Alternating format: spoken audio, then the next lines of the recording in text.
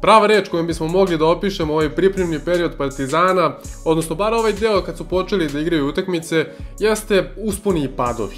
To su neke prave reči kojima bi opisali ovaj period i zaista je tako delovalo. Čas, ne znam, poraz od neke realno slabe ekipe, 20-30 razlike, pa onda pobeda protiv nekih da, daleko jačih ekipa istom razlikom. Na kraju, eto, desila se pobeda protiv Lokomotive od 20, I šta se tu dešava? Hajmo da vidimo. Ja sam Pavija, vi gledate novu epizodu emisije sa niskog posta na Admiral Bet YouTube kanalu. Pre nego što nastavimo, obavezno zapratite ovaj kanal za još sadržaja. Za razliku od prethodnog klipa gde sam radio Crvenu zvezdu, ovde se neću toliko baviti tim nekim tom nekom filozofijom. Sama filozofija igre Partizana se nije puno promenila u odnosu na prethodnu sezonu.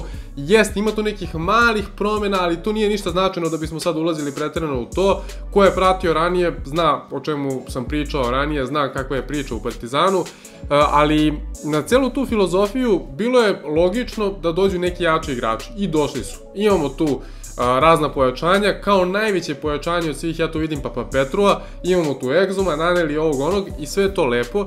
Andjušića naravno koji isto ima da bude jako bitan deo ove ekipe i upravo ključno su stvar ta pojačanja jer na ovaj stil igre koji forsira, kažem, Željko Obradović, potrebni su takvi igrači. Potrebni su igrači koji brzo razmišljaju, koji brzo pale taj neki trigger, koji brzo rade stvari, koji brzo de deluju, dejstvuju na terenu. To prošle godine Partizan nije imao i iz tog razloga Partizan prošle godine nije pravio nikakve rezultate.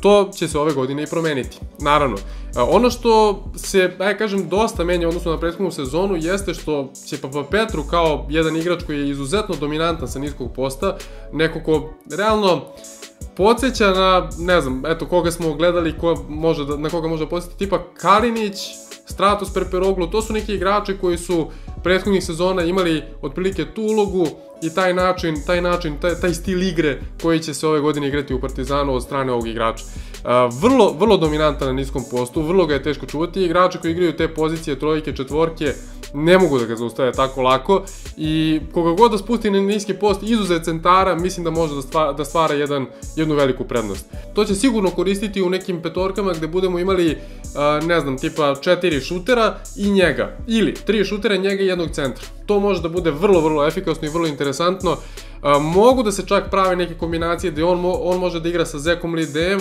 na primer, ili on Tristan Vukčević, to bi čak bilo interesantnije, sa tri dobra šutera s polja, kada se skupi odbrana, on zna vrlo brzo da izbaci loptu i to vrlo lepo deluje. Gde čak nema potrebe puno ni neke taktike da se pravi, da se sad ne znam, crtaju neke kretnje, jednostavno na taj njegov individualni kvalitet tim profitira iz cele priče. Tako da mislim da je to nešto što će Partizan dobiti ove sezone, što je vrlo, vrlo korisno i to će na kraju krajeva grobari vidjeti kako vreme bude prolazilo, koliko je bitno i koliko je dobro imati jednog takvog igrača. Nisam hteo ranije da pravim analizu, hteo sam da vidim kako će odigrati ovu utakmicu, kako će izgledati, a neću da kažem u punom sastavu, ali kako će izgledati kada su kada je većina ekipe tu. Izgledaju dobro. Uh, ima nekih stvari koje mi dalje smetaju, to je recimo filozofija odbrane, koja sad ima recimo mnogo više smisla i realno ono, preuzimanje sa ovim igračima mnogo nekako logičnije deluje, međutim, preuzimanje kada je Madar na terenu je zaista veliki problem. I možemo da se setimo nekih prethodnih sezona kada smo imali neke niže igrače, niže playmakere u večitima, gde kada se desi to preuzimanje jednostavno desi se ono, da, da ne može odbrana da odreaguje na pravi način, da se stvore ne jedna nego dve rupe na terenu koje se lako mogu a, razbiti, gde protivnik lako može da dođe do koša I, i tu u tim mismatch situacijama, ukoliko se upravo radi pik između playmakera i centra, ukoliko to radi protivnik, ako se desi zamena, niti uh, Lesor može da čuva nekog protivničkog playmakera, niti Balše Koprivica može to da radi, niti Madar može da čuva bilo kog centra i onda se tu stvara veliki problem. Tu definitivno vidi se nedostatak jednog dobrog centra, vidi se i kako bude sezona odmicala primetit ćete da su umoreni i, i, i Lesor i Balša Koprivica, vidjet ćete padove u njihovoj igri ukoliko ne dođe neko pojačanje na poziciji 5. Ukoliko se desi da pojačanje dođe, vidjet ćemo nešto drugačiju priču. Šta fali Partizanu na petici? Fali jedan mobilan, brz, jedan atletski orijentisan centar, eventualno ukoliko se ne ide ka tome, neki, neki centar koji je dobar u šutu s polja, čisto da popunite neke nedostatke, ali opet mora da postoji neko ko će igrati dobru odbranu.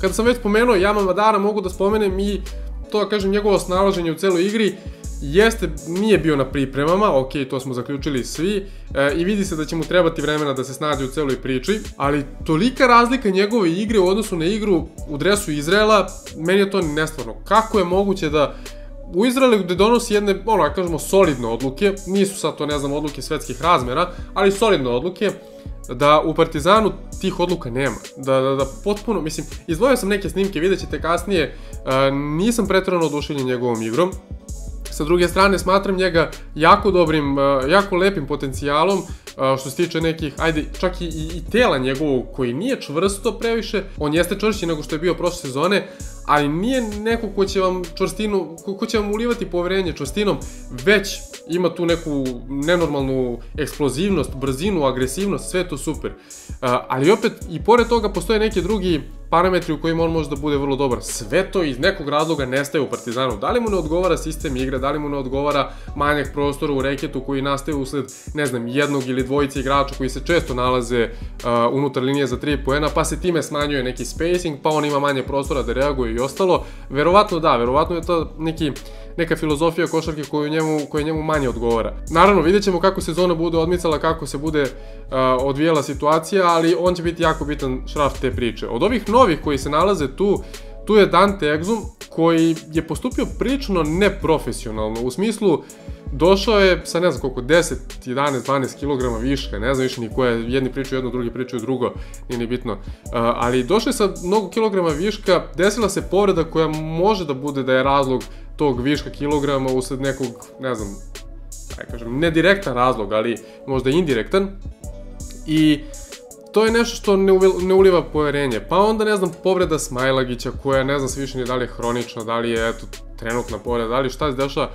Uh, mnogo nekih problema koji se motuju tu okolo i koji ulivaju neko nepoverenje. Oni porazi koji su se dešavali na početku priprema, na početku tih nekih pripremnih utakmica je čisto ajde kažemo, produkt neuigranosti, manjka neke želje za nekim dokazivanjem. Mogli smo vidimo da je tu bilo dosta nekih starih igrača, odnosno iz prošlogodišnje ekipe Partizana, koji nisu pokazali ni trunku želje, koji ni trenutno ne prikazuju neku preteranu želju na terenu, Lesor ne oduševljava, ne ostavlja neki dobar utisak, Ali opet, generalno gledano, novi igrači daju neku novu energiju i mislim da su oni vodioci igre Partizana. Nisam video ništa novo od Kevina Pantera, nisam video ništa novo od Lesora, video sam nove stvari od Tristana Vukčevića i to mi se jako sviđa, da njegova igra da se razvija na više smerova, da se razvija, ono, da, da pokušava da razgrana tu svoju igru na više strana. I Može, mogli smo da vidimo, naravno, igra na niskom postu, mogli smo da vidimo neki šutevi sa polu distance, šutevi za 3 poena, deluje sve to fino, deluje lepo, ispostavlja se da važi za dobrog šutera. I u situacijama gde ćete imati, pričao sam već, Papa Petrova na niskom postu, imati njega na liniji za 3 poena je velika, velika prednost, jer kada njegov igrač krene da a, pomogne dole na Papa Petru, kada Vukčević dobije loptu i kada ovaj kreće na close out, to nema šanse će blokirati. Vukčević svojim velikim rasponom ruku, visokim izbačajem, jako ga je teško blokirati. Jako ga je teško blokirati i to će moći Partizan jako dobro da koristi. Kao što će moći da koristi i brz šut Andjušića i tako dalje i tako dalje pozitivnih stvari ima, negativnih stvari takođe, ali mislim da su ove pozitivne poprilično zasenile te negativne i da će ove negativne polako kako vreme bude išlo da samo iščezavaju iz ekipe Partizana. Izdvojio sam neke snimke za napad i za odbranu, ajmo prvo odbranu da pogledamo pa da, da, da pričamo dalje. Čisto da vidimo koja je filozofija, nije se puno filozofija odbrane promenila u odnosu na prethodnu sezonu, ima naravno tu nekih, da kažemo, modifikacija, ali A pogledamo ovde, znači ovde se dešava iskakanje Balše Koprivice koji dalje nije pretredano brz da može da odreaguje, jednostavno takav je igrač, morate malo drugačije da radite stvari sa njim, ali opet Andjušić koji ne može da isprati mnogo kroz blok, mora da ide neko pomaganje za njega, da li to sad bilo u nekom visokom dropu ili ne znam, da li, da li to bilo iskakanjem, jednostavno balše i skakanja ne idu. I onda se tu dešava razna rotacija, vidite kako odbrana Partizana loše reaguje i onda ostaju ovako igrači sami. Sreća je Partizana što je ekipa Lokomotive ovakve stvari promašivala, nije im bio dan, uopšte ne želim se bavim pretrano ovom analizom, ali mislim da sam rezultat nije pretrano realan, isto kao što protivnik nije realan, isto važi i za Zvezdu i za Partizan, igrali su sa Lokomotivom u par dana razlike. Ovo nije ni evroligaški Uh, nije Evroligaška ekipa, ni Evrokup ekipa. Ovo je ekipa koja neće nastupati u evropskim takmičenjima naredne sezone, koja pokušava mladi igrače da iznedri kroz ovu jednu ili dve sezone koliko će biti van tih evropskih takmičenja a, i ne može da bude parametar koliko je Partizan ili Zvezda dobro. Jednostavno ta, takva je situacija. Zvezda je sa druge strane odigrala jednu pripremnu utakmicu sa Monakom, gde je pokazala dosta loših stvari, ali opet bila je blizu rezultatski kad se sve na kraju pogleda. Partizan nije imao tu proveru. Barcelona nije bila dobra provera jer nije bila kompletna. Najbitniji igrači, nosioci igre nisu bili tu.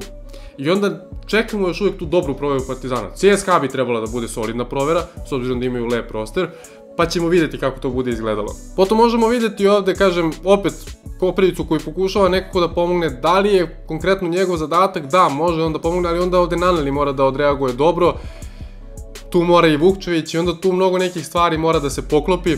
I onda šta se dešava, ostaje igrač potpuno sam, opet su promašili, a kažem, ove stvari će biti kažnjavane u Euroligi.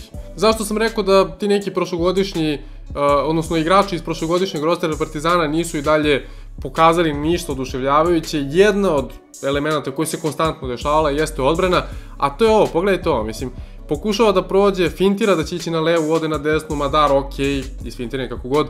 Ovde sada Lesor pokušava da izađe, niti izlazi, prati svog, blokira Madara, nema komunikacije, jednostavno tu se vidi nedostatak tih nekih osnova kao što je recimo komunikacija, spomenuo sam to.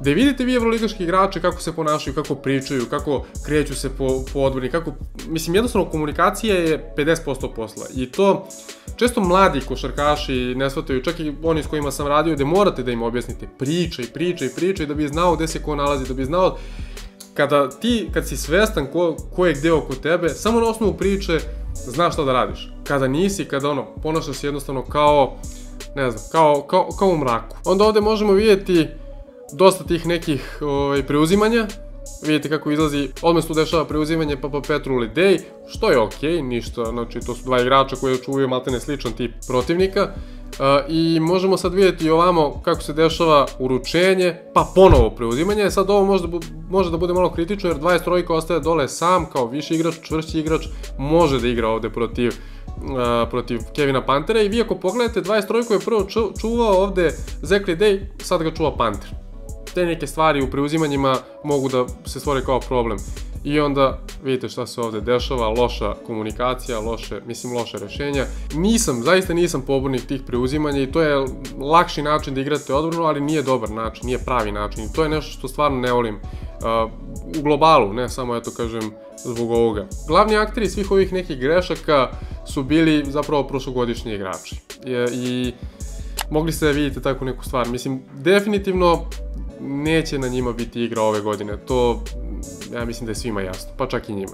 Što se tiče napada, možemo da pogledamo, evo recimo kako izgleda sa Vukčevićem na niskom postu, pa pogledajte ovo, spušta dole ok loptu na Valšu Koprivicu, nije optimalno, nema veze, ali ono što sam rekao, kada imate dosta dobrih šutera, čak i Naneli koji je to završio nekako u reketu, nebitno, navuko je više igrača na sebe, nije ništa idejno bilo, nego eto, desilo se tako. Uh, vidite sad ovo, Balša koji naloči dosta igrača na sebe. Četiri igrača su oko njega. Imate tri, trojicu na, na liniji za tri poena. Kad ostane ovoliko sam, to je done deal. To je gotovo.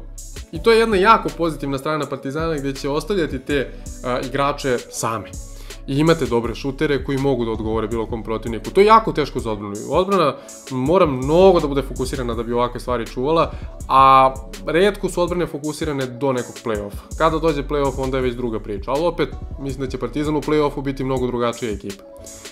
Evo ista priča gde, će, gde se igra na niskom postu sa, sa Lidejem, Vukčević koji utrče unutra greškom, ali opet polu distanca pogađa siguran je. Pa onda vidimo jedan kontranapad iz kog se odmah traži uh, znači, taj pik, vrlo brze, vrlo, vrlo brza rešenja, Kevin Panter na šutu za, za dva, zašto da ne? To su te neke minijature gde će se igrati vrlo brzo košarka, gde čak vidimo da Partizan jako dobro trči kontranapade i da će to sigurno biti jedna velika uzdanica Partizana naredne sezone, da će pokušavati iz toga što više da kažnjavaju protivnike i to je vrlo frustrirajuće, ume da bude vrlo frustrirajuće za protivnika a, takav, takav stil košarke. Izdvojio sam evo jednu situaciju gde je Papa Petro na niskom postu, pogledajte kakav pas šalje čovjek, nije najprecizniji, ok, bit će preciznijih paseva, naravno kako bude ulazio sve više u ritam sa ekipom, ali videti ovakvog igrača na drugoj strani terena, da je potpuno sam, da, da, da, da je otvoren, da nema nikoga oko njega, da može da šutne i da dobije pas koji će iskoristiti, mislim, to je, to je fantazija. U ovoj situaciji dešava se to da ide lopta na stranu, na zekal ide i tako dalje, odigrava se dalje napad. To je ono što je pozitivno, nema puno toga da stanu. Idemo dalje, igramo dalje, fluidna je nekako igra mnogo, čak i čini mi se da Partizan ima dosta bolji protok lopte nego recimo Crvena zvezda. To je recimo jedna stvar koja, koja mi onako baš uliva, uliva neku pozitivnu emociju u ekipi Partizana. Evo zašto mi se recimo cela priča sa Jamom Madarom ne sviđa jer potpuno se izgubi kada dođe u Partizanu, kažem u Izraelu igrao daleko bolje od ovoga. Vidite, kreće na uručenje, zašto je stao ovde? Znači, zašto je stao i čekao pas? Ok, vidio si da ide protivnik ispod bloka. Zašto si krenuo ka lopti? Zato što, mislim, pazite, ako protivnik ide ispod bloka, znači da ide bliže lopti. Onda ti treba da trčiš u korner, gde ćeš ostati sam na šutu za 3 poena, šutiraj, kraj priče. I šta se onda dešava? Onda će 20 kez da dođe na tebe, onda se Lidej otvara u reket, ostaje potpuno sam, E samo zbog toga što nisi uzeo, otišao u, u korner, gde bi stvorio sve, ništa se nije izdešavalo. I onda se, vidite, mora da ide na a, uručenje, pa onda iz tog uručenja pokušava da uđe unutra, umesto da ode na floater, nema nikoga oko njega, sam kao duh, on šalje loptu napolje i tu neki čudan pas, jako rizičan pas, I onda šta se dešava? Zekli Day koji mora, mislim nije da mora, ali eto, krenuo je unutra, šutnuo je taj neki floater umesto njega. Dve situacije si imao gde bi ekipa zbog tvojih kretnji zbog tvojih, aj kažem, akcija, odnosno onog što uradiš, mogla da profitira, ti ništa od toga nisi uradio. I ne samo ovaj napad, ovo je jedan od napada koji sam izdvojio. Jako često se to dešava. Pa evo ponovo, kaže Madar, koji je to pravi pokušava da napravi pik, ne koristi taj pik, uglavnom ide na drugu stranu, mnogo rano šalje ovaj pas, ovaj pas je trebao da ide kada je već brže utrčao, utrčao unutra pa pas između ove dvojice gde onda Zekli gde ostaje potpuno sam. To su jako osnovne stvari, to nije ništa sad kao neka viša matematika, znači kao profesionalni igrač, kao profesionalni košarkaš koji igra na ovom nivou košarke, koji gleda posle svake utakmice svoje snimke, nadam se, uh, ovakve stvari mora da zna. Znači ovo su osnove i on šalje ovaj pas, na kraju ide ovo neko uručenje i vidite koliko to recimo lakše izgleda sa tim evroligaškim igračem, koliko lakše percipira igru i to to se vidi ta razlika između Evrolige i Evrokupa.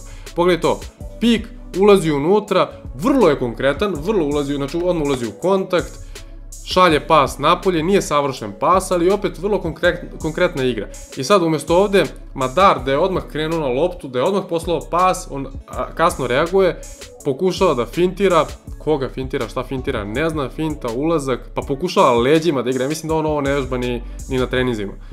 I onda neki šut. Znate, nije dobro, definitivno nije dobro. I opet kažem, pogledajte koliko, koliko to deluje sa evroligaškim igračem lako. Pogledajte ovo, pas na Zekal ideja, možda čak i malo visok pas, ali nema veze. Uh, ide ovde sada na uručenje za Andjušića koji se odmah diže na šut i pogađa. Jednostavno zna koji su njegovi kvaliteti, zna šta treba da radi, kada ostaneš sam šutni, vrlo lako čitanje svih tih situacija, koristi to, mislim, vrlo prosto. I tako izgleda Euroliga. Ako bude Partizan defanzivno znao da, da, da, da odgovori svim tim nekim Euroligašima, bit će ok. Ako ne bude znao, bit će u problemu. Onda pas ovde na Papa Petrua, gledajte sad ovo, vidite ovo, odigrao je 1 na 1, vrlo je čvrsto, ovo će često znati da radi, vrlo jednostavan napad, bez nekih komplikacija. Poenta moje priče nije bila da ponizim nikog, da se razumemo. Znači, ovo je čisto izdvajanje, čisto da ljudi skapiraju koja je razlika između evroligaških igrača i tih nekih igrača koji još nisu došli na taj nivou, koji nikad nisu zaigrali na, ta, na tom nivou. I definitivno će prilagođavanje tih igrača biti jako težak proces, jako težak posao. Priča se, zna se kako je priča da Euroliga se najviše razlikuje po centrima. I smatram da će veliki problem biti upravo za Partizanove centre da, da, da se prilagode na to. Uh, videli smo Matijasa Lesora recimo u ekipi Makabija koja daje šansu svima, koja je jednostavno ekipa koja će strancu dati šansu i ono, imaš priliku, brate, iskoristi, ako iskoristiš, ostaješ tu, ako ne iskoristiš ništa. Uh, ispostavilo se da je sa Lesorom u Makabiju bilo ništa. Zašto? Ne znam, vidjet ćemo ove godine u Partizanu. Da li je to, da li je to situacija? Uh, što se tiče Balše Kovaprivice, jako je mlad, ali za njega smatram da i tekako može se prilagodi, za njega zaista očekujem, od njega očekujem zaista puno naredne, naredne sezone. A što se tiče same igre ovako celokupno, mnogo fali tu egzum, mnogo fali ta sigurnost defanzivna sa njegove strane. Sa njim u petorci to će delovati dosta, dosta opasno. I čak bih rekao da je možda još jedan centar jedino što je to fali Partizanu. Ne zbog toga što, ne znam, ovi neće odraditi dovoljno kvalitetan ili ne znam kakav posao, nego jednostavno zbog duboke klupe, zbog teške sezone, zbog toga da moraš da imaš 15 igrača, 3 igrača po poziciji, da znaš da u svakom trenutku ukoliko se neki povredi, ukoliko neki se umori, ovo ono, da imaš nekog da uskoči. Da imaš na to da uskoči uh, u zavisnosti od stila košarke koji igra protivnička ekipa. Jednostavno, tu više nije stvar guranje jednog igrača zbog nekog višeg cilja. Veliku ulogu u ovoj priči ove sezone će igrati taktika i priprema utakmice. I tome zaista mora se podredi jako puno. Smatram da Partizan ima dobru ekipu i smatram da će ovo naredne sezone izgledati veoma dobro. Gledat ćemo naravno još te neke pripremne utakmice, ima tu puno da se radi, definitivno, ima puno da se uigra, s obzirom da su neki igrači tek došli, ali imam pozitivan utisak posle celih priprema. Ne za sve igrače, ali opet u globalu bih rekao da ovo možda bude jako jedna dobra priča. Sve u svemu, to je to. Šta im mislite, pišite dole u sekciji za komentare. Nemojte zaboraviti da ostavite like, prijavite se na Admiral Bet YouTube kanal i lupite zvonca da stižu obaveštenje za naredne klipove, a do narednog puta pozdravljam vas, pa Ćao!